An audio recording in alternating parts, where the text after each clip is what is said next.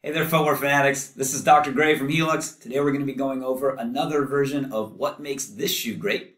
Today we're going to be talking about a hiking shoe for women. That's the Keen Terradora 2 Vent. The first thing that makes this shoe great is that it has the highest overall comfort ratings out of any women's hiking boot that we have ever tested at Heeluxe. It scores very well. Now, that subjective testing should be enough to make this shoe great, but you might be wondering why. Why do women say that this is so comfortable? Well, we got some data for that too. The Smart Last testing for the Keen Terradora 2 vent shows that it fits normal in almost every key location of the shoe.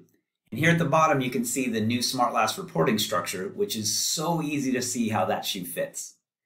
Now, for those of you that want to see how humans respond to it as well, well, we do have our comfort testing there, and 100% of the women that came into Heeluxe to test this shoe said that it fit normal as well. That is a rare trait, and the fit of the Keen Terradora 2 vent definitely makes it great. But there's one more thing. This shoe is 23% lighter than the average hiking shoe for women in our database. That is a massive difference and something that every woman is going to feel when they put this shoe on.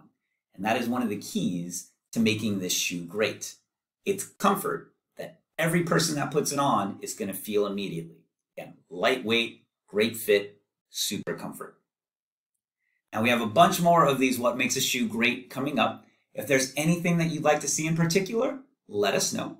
And if you'd like to get any testing started with the Heeluxe team and I, go ahead and contact us, and we look forward to helping you make better shoes.